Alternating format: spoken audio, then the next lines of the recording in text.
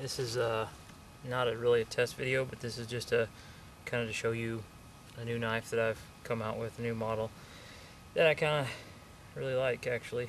Um, this is the uh, Snake Eater model. This is the there's two two versions of it. This is the combat version that I'm holding here, and uh, there's a more utility version of it.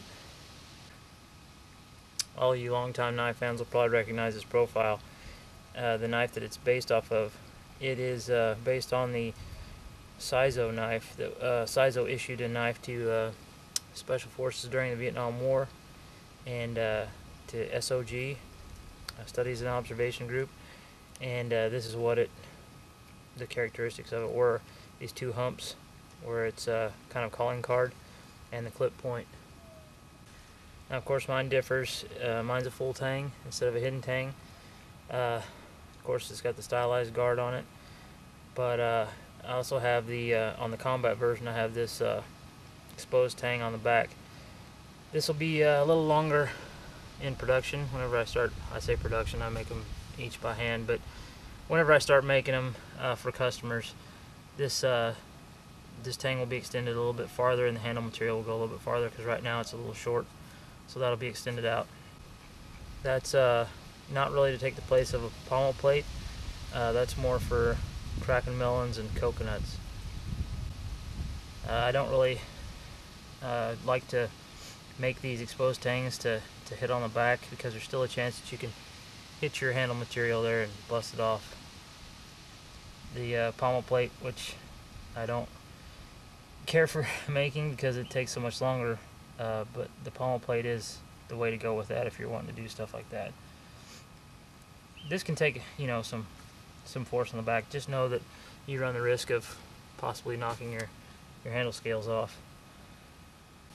And this really isn't a test. This is more of a like I say like I said earlier just more of a show you the model. Uh, the reason it's not a test is because this knife this profile is basically a Green River. A knife that I've tested you know pretty ex extensively. This the only difference is between this and the Green River basically are the two humps and the clip point. Uh, if you lay this knife on top of a Green River profile, it's almost exactly the same. As I'm sure as a lot of you know, I'm pretty big on, uh, you know, trying to say thanks to all those who signed their name on the dotted line, and this is just another um, fulfillment of that, I guess you'd say.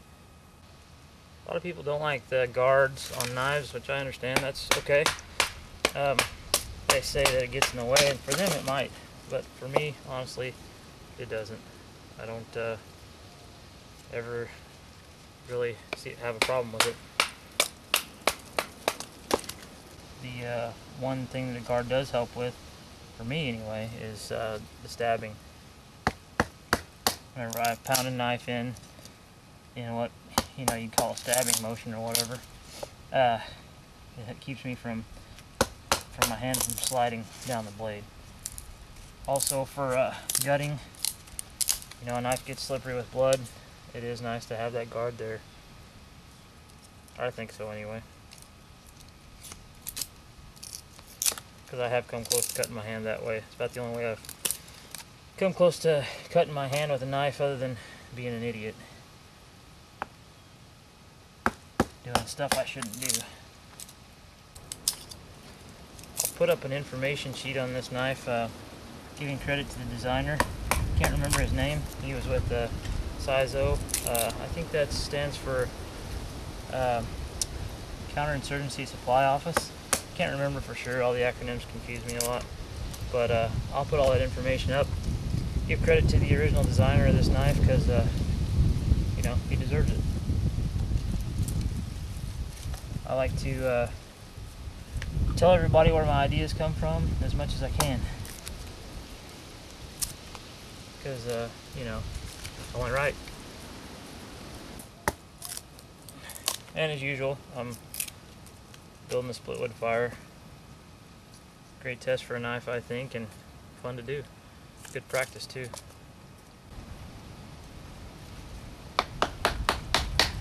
You'll notice the guard doesn't get in the way.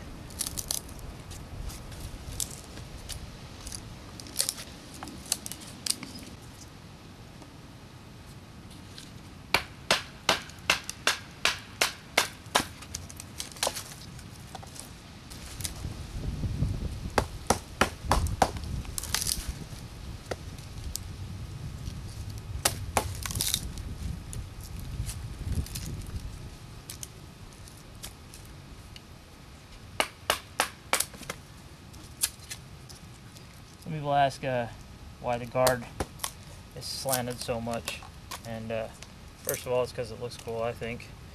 And second of all, it does give you some handle room at the bottom. Give you a little bit more room than you would normally have with a regular guard. And you get the benefits of having a guard.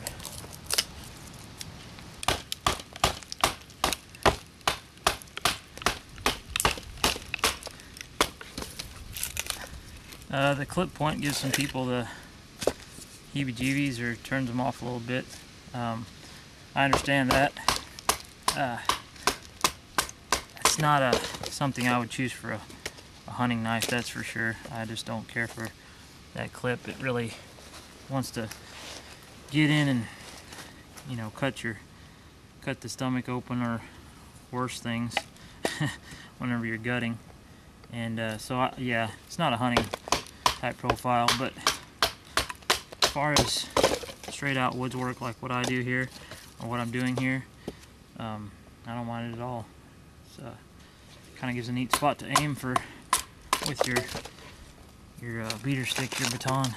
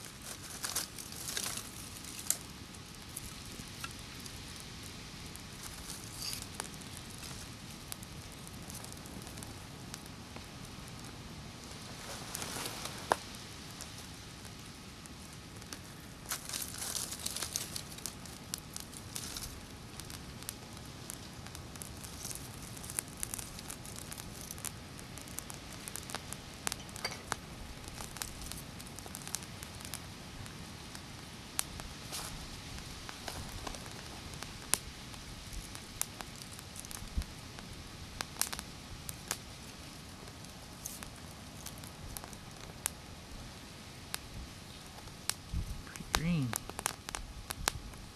It goes quick.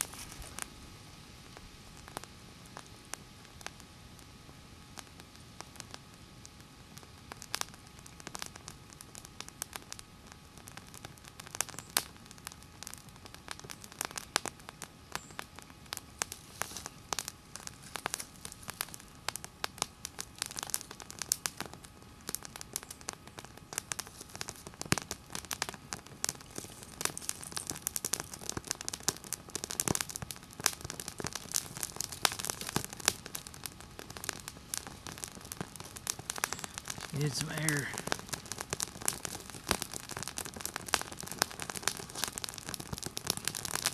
So that's it. The new snake eater model. Um, check it out on my website if you like it. If you don't like it, I apologize. I'll do better next time. Try to anyway. Thanks for watching. I do appreciate it.